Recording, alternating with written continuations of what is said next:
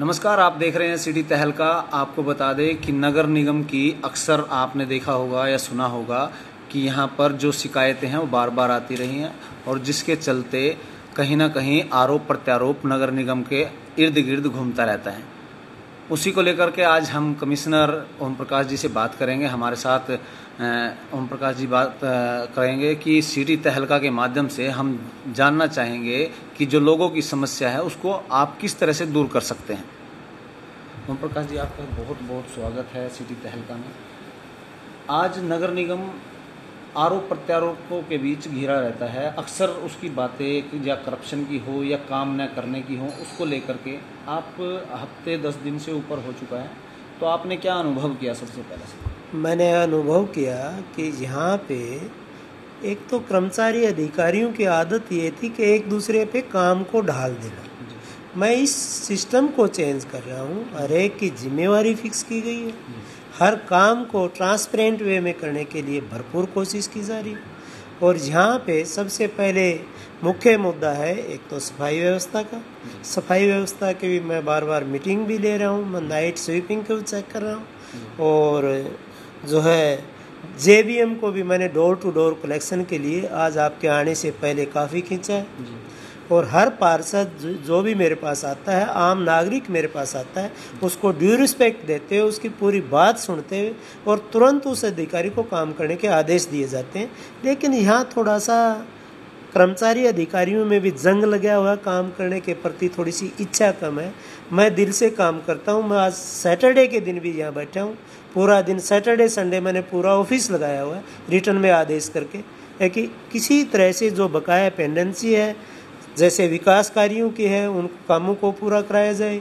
Tenders की है work order की है सीएम अनाउंसमेंट की है, पार्कों की व्यवस्था है, सफ़ाई की व्यवस्था है लाइट की व्यवस्था है। आज के दिन लाइट बड़ा मुद्दा बना हुआ है, जिसके लिए मैंने अपनी टीम लगा के वार्ड वाइज जो है, ये पता कराया किस वार्ड में कितनी लाइटें खराब हैं।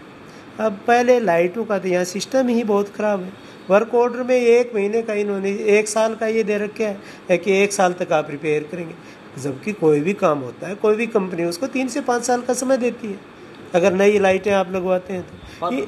इस जी जी। पार्षदों का एक बहुत बड़ा यहाँ पर इशू रहता है कि जेबीएम कंपनी को तीन गुना इसमें ठेका दिया गया है जो कीमत है पहले से बढ़ा दी गई है लेकिन सफ़ाई व्यवस्था जो की त्यों है नहीं मेरे आने के बाद सफ़ाई व्यवस्था में थोड़ा थोड़ा सुधार हुआ है। मैंने खुद नाइट स्वीपिंग में भी देखा है जेबीएम को भी टाइट किया है, और जो ठेका वेका देने की बात है, वो तो एक क्लस्टर बना के दिया गया है। कोई हमारा अकेला पानीपत नहीं था, उसमें सोनीपत भी था, करनाल भी था, और भी एक ज़िला था, जो क्लस्टर बना के इनको दिया गया है। वो स्टेट लेवल की बात है जहाँ से कोई ठेका ऐसा नहीं दिया गया। बहुत बड़ी जो इशू निकल के आया, इसके बाद यहाँ पर विपक्ष ने, यहाँ पर राजनीतिक मुद्दों ने उसको उठाया। कि जो पार्क व्यवस्था है पार्क में जो 20 लाख रुपए का काम होता था वो 80 लाख में चला गया या उस तरह की जो है ये सामने निकल के आई। ऐसा है ये पुराने टेंडर में घोटाला हुआ टेंडर वो टेंडर वेंडर का जो घोटाला है पुराने ये इनके मुद्दे हैं जो मेरे पास कंप्लेंट आती है उसकी मैं मौके पे जाके जाँच करता हूँ और हर वार्ड वाइज भी जा रहा हूँ जैसे भी कोई कंप्लेंट आती है कोई रिटर्न में दे के जाता है तो वर्बली कोई कुछ कहे। रिटर्न में देगा उसकी जाँच कराऊँगा उसका मौका देखूँगा और बिल्कुल भी जो कमियाँ पाएँगी जिन अधिकारी कर्मचारियों के खिलाफ, ठेकेदार के खिलाफ, उसके खिलाफ, उसके अनुसार ही कार्रवाई की जाएगी। अगर डिफेक्ट लाइबिलिटी में काम है, उससे कराया जाएगा, नहीं करेगा, उसकी सिक्योरिटी जब्त की जाएगी और उसको ब्लैक लिस्ट किया जाएगा। कमिश्नर साहब, आज सफ़ाई और लाइट बहुत बड़ा मुद्दा है पानीपत के लिए। मानसून सतर पे आप देख सकते हैं कि अभी चल रही है, बारिश चल रही है तो पिछले लंबे समय से मानसून आया है। उसको लेकर के पहले दावे किए जाते थे कि हम सजग हैं उसको लेकर पाँच मिनट बारिश होती है पानी पत पानी पानी हो जाता है। और उसको लेकर के आज तक कोई मुख्य कदम नहीं उठाया गया किसी चीज़ से जोड़ा नहीं गया। सीवर लाइन बिल्कुल ठप पड़ी है व्यवस्था है उसको कैसे? ऐसा है सीवर लाइन वैसे तो जो अंदर के शहर की है वो पब्लिक हेल्थ का काम जी। निगम का काम नहीं है निगम का काम नाड़े वगैरह की सफ़ाई का है। मैंने मेरे इस अल्प समा, समावधि में खुद जा जा के नाड़ों की सफ़ाई कराई है और कुछ तो फ़र्क है। जो चीज़ पाँच मिनट में लबालब तो हो जाता है, लेकिन घंटे, दो घंटे में पानी निकल भी जाता है। इसका ये असर दिख रहा है। कल भी बारिश हुई तो घंटे, डेढ़ घंटे, दो घंटे तक कोई एक आध जगह को छोड़ के मोस्टली पानी निकला। मैंने खुद भी रात को देखा है। कमिश्नर साहब, एक और चीज़ सामने आ रही है, जो लाइट व्यवस्था है।